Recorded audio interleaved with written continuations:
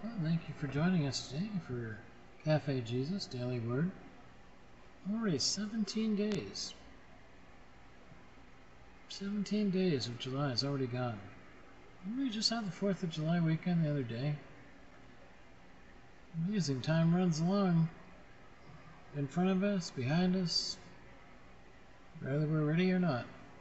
Well, today we have a recap- recapitulation in um, Chronicles of David's reign in Israel. So, without further ado, let's get to today's audio. And before we do, let's ask the Lord to bless our time. Father God, move me aside, Lord. Speak directly to the hearts and the minds and the ears of each listener who is tuned in, that we might learn something and grow and emulate Jesus all the days of our life. That we pray. In your holy name, Lord Jesus. Amen. Okay, let's get to it. Hopefully there's no commercial, but I kind of doubt that. Chapter 11 All Israel came together to David at Hebron and said, We are your own flesh and blood. In the past, even while Saul was king, you were the one who led Israel on their military campaigns. And the Lord your God said to you, You will shepherd my people Israel, and you will become their ruler. When all the elders of Israel had come to King David at Hebron, he made a compact with them at Hebron before the Lord, and they anointed David king over Israel, as the Lord had promised through Samuel. David and all the Israelites marched to Jerusalem, that is Jebus. The Jebusites who lived there said to David, You will not get in here. Nevertheless, David captured the fortress of Zion, the city of David. David had said, Whoever leads the attack on the Jebusites will become commander in chief. Joab, son of Zeruiah, went up first, and so he received the command. David then took up residence in the fortress, and so it was called the City of David. He built up the city around it, from the supporting terraces to the surrounding wall, while Joab restored the rest of the city. And David became more and more powerful, because the Lord Almighty was with him. These were the chiefs of David's mighty men. They, together with all Israel, gave his kingship strong support to extend it over the whole land, as the Lord had promised. This is the list of David's mighty men. Jashobeam, a Hakmonite, was chief of the officers. He raised his spear against three hundred men, whom he killed in one encounter. Next to him was Eleazar, son of Dodai, the Ahohite, one of the three mighty men. He was with David at Pasdamim when the Philistines gathered there for battle. At a place where there was a field full of barley, the troops fled from the Philistines. But they took their stand in the middle of the field. They defended it and struck the Philistines down, and the Lord brought about a great victory. Three of the thirty chiefs came down to David to the rock at the cave of Adullam, while a band of Philistines was encamped in the valley of Rephaim. At that time David was in the stronghold, and the Philistine garrison was at Bethlehem. David longed for water and said, Oh, that someone would get me a drink of water from the well near the gate of Bethlehem.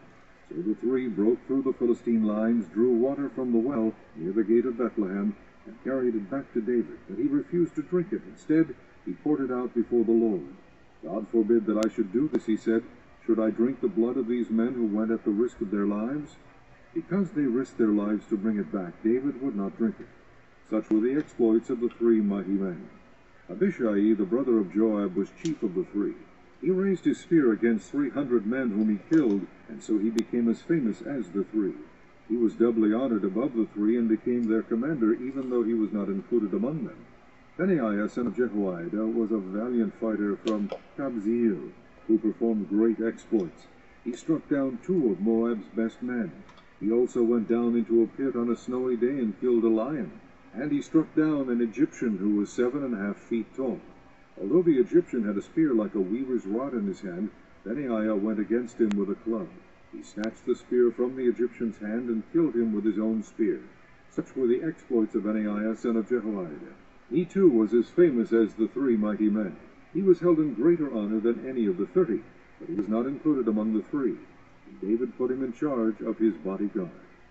The mighty men were Asahel, the brother of Joab, Elhanan, son of Dodo from Bethlehem, Shamoth the Hararite, Helez the Pelonite, Ira, son of Ikkesh from Tekoa, Abiezer from Anathoth, Sibbekai the Hushathite, Eli the Ahohite, Maharai the Netophathite, Heled son of Baanah the Netophathite, Ithai son of Rabbai from Gibeah in Benjamin, Benaiah the Pirathonite, Hurai from the ravines of Gaash, Abiel the Arbathite, Azmaveth the Baharumite, Eliahba the Shaalbonite, the sons of Hashem the Gizonite, Jonathan son of Shagee the Hararite, Ahiam son of Sakar the Hararite, Eliphal son of Ur, Hepher the Mekerathite, Ahijah the Pelonite, Ezro the Carmelite, Naarai son of Ezbai, Joel the brother of Nathan, Mibhar son of Hagri, Zelek the Ammonite, Naharai the Berothite, the armor-bearer of Joab son of Zeruiah, Ira the Ithrite, Gadad the Ithrite, Uriah the Hittite, Zabad son of Ahlai, Adina son of Shiza the Reubenite, who was chief of the Reubenites, and the thirty with him, Hanan son of Maacah, Joshaphat the Mithnite, Uzziah the Ashtothite, Shammah and Jael, the sons of Hotham the Aroerite, Jediael, son of Shimri, his brother Joab the Tizite, Eliel the Mahavite, Jeribai and Joshaviah, the sons of Elnaam, Ithmah the Moabite, Eliel, Obed and Jaziel the Mezobaite. And when I hear lineages like that, I want to thank all the lonely people. Where do they all come from? All the lonely people. There's such a long lineage, don't- you think? And um, so we have again the recapi- recapitulation of David's reign as mighty man. He becomes king over Israel. The elders finally declare him king at Hebron. Prior to this, only one of the tribes recognized David as king. The other tribes uh, kind of uh, rec- um, recognized the pretend king, kind of like number 46, King Ishibbeth, and uh, he was like the uh, people's choice, but uh, not even the people's choice. He was just a propped up king. And uh, he was murdered uh, in Second Samuel 4. So now all the tribes had to turn to David. And it is significant that the chronicler makes no reference for the seven years where David did reign over the southern kingdom, late, which is known later as Judah. And then the, he begins the crowning at Hebron uh, when all Israel acknowledges his kingship. This is really David's third anointing. The first was with his family when he was young, with Samuel. The second was an anointing by the uh, tribe of Judah after the death of Saul. And the third was after the defeat of Ishibbeth. Now it's sad when Christians only recognize Jesus when things begin to crumble and their king is no longer the one on the bandwagon. So we should choose Jesus outright, not when all the options fail. Okay, I guess as a last resort, I'll try Jesus. The elders of Israel received David's leadership because it was evident that God had called him to lead. Three characteristics of this should mark anyone who leads God's people. A leader must belong to God's people in heritage and in heart. A leader must demonstrate the capability to lead.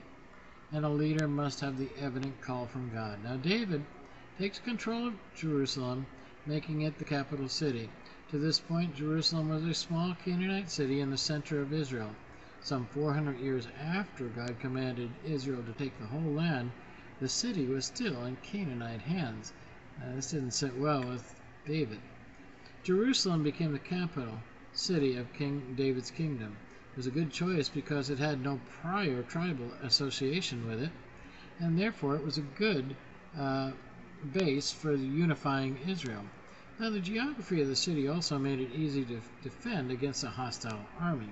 In God's plan, there is almost always a hidden price, though, for greatness. Often. And those who become great among God's people experience much pain and difficulty in the training or God's gym. So, David's mighty men. Uh, David needed these faithful men for his success. It's important to understand that David was nothing without his mighty men, and they were nothing without him. He was their leader, but a leader is nothing without followers, and David had the mighty men to follow him. Now, two of David's mighty men were Jesh, uh, Jashobeam and Eleazar, the son of Dodo. I like saying that, don't you? The son of Dodo. Eliezer, the son of Dodo. Okay, enough there. So, uh, then David's mighty men were on a mission to bring him water from his childhood desires at Bethlehem. When, they heard of it, they, they risked their lives and they did it for him. And when they came back, they were probably dismayed, maybe even upset, because he poured out the water uh, to the Lord. He wouldn't drink it because these men sacrificed their lives to get there. Which shows you David's heart. God is always first, not self-serving. And there was other accomplishments among David's mighty men, and there was an honor roll of David's mighty men. Ashael, the brother of Joab, he, he was tragically killed in battle by Abner, but he was the commander of Ishabeth's armies. This is the son of Saul who tried to follow him on the throne. Uriah the Hittite, and he is notable among the mighty men because he was the husband of Bathsheba. When David heard of Bathsheba's relation to Uriah and Eliam and Ahithophel, he should have put away every idea of adultery. It really was a kind of like uh, going into not only a hornet's trap, but also a black widow's trap or a scorpion trap. Would you put your hand in there? I don't think so. So the list of David's mighty men recorded in 2 Samuel 23 ends with the mention again of Uriah the Hittite. That always reminds, and David, I'm sure, was well aware. Well, thanks for joining us today on this Sunday, the Lord's Day, July 17th. May the Lord bless you and keep you, and until next time, should he tarry and should he desire, if the Lord wills, we'll see you again. Have a wonderful day in the Lord. Thanks for tuning in.